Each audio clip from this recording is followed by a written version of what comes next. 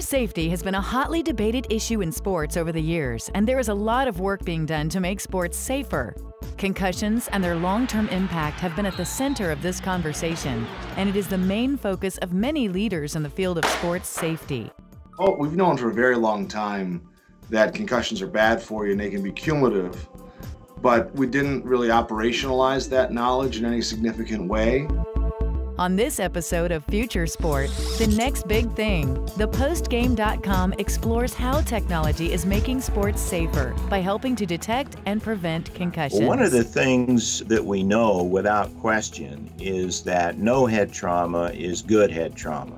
Uh, you cannot condition the brain to take trauma, you can only injure it. I was an athlete my whole life and uh, never had a diagnosed concussion as an athlete, uh, whether it was soccer or football or basketball. I went on to be a pro wrestler. Sports Legacy was formed by Chris Nowinski, who was then a patient of mine I got a concussion in the summer of 2003 from a kick to the head that I aggressively ignored and until I got so bad with post-concussion syndrome that I had to stop. And by that point, I had done so much damage that I, I didn't get better for uh, you know five years because we didn't have you know that really hard evidence of what was going on in the cellular level because the science just wasn't there. People ignored the problem.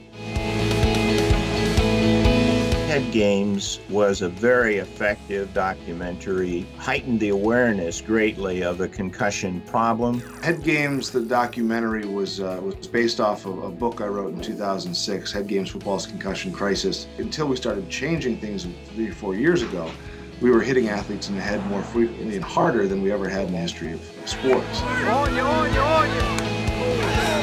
We now have enough evidence to convince people that the brain is uh, very fragile and needs time to recover after trauma. So there are real long-term consequences. We're starting to wrap our arms around it.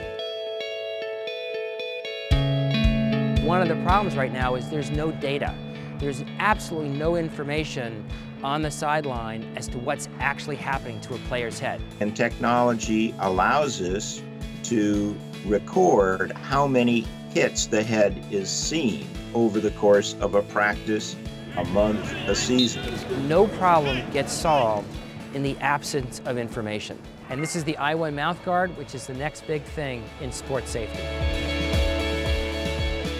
The circuit board sits here. In the front is the antenna and a radio infrastructure so the mouth guard can communicate in real time to the sidelines. Whether it be accelerometers in headbands, in mouth guards, in football helmets, those accelerometers are what are going to be recording the hits to the head. Linear and rotational acceleration are critical to understanding what's happening to a player on a field. We put our products through intensive testing.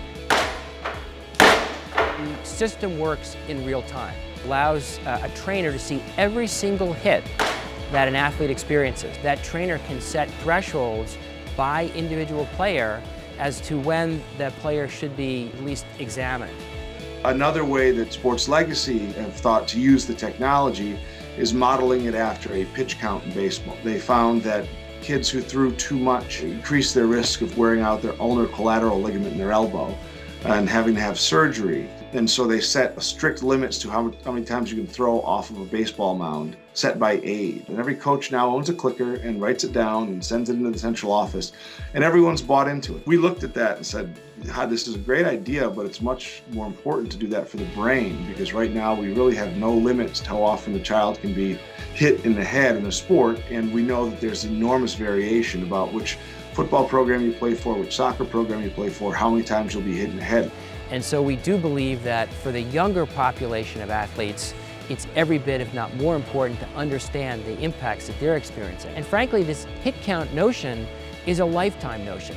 Hopefully be standard practice in the future. Yes, the, the beauty of these new products coming forward is that they're relatively inexpensive. Obviously, you can't be buying the $1,000 helmets with a hit system in it and outfit your high school team, certainly not a youth team. But with these sensors selling for under a $100, it is possible. There is still a lot of progress that needs to be made to prevent serious head injuries, but technology is clearly making sports safer. Thanks for watching this episode of Future Sport, the next big thing, presented by Samsung.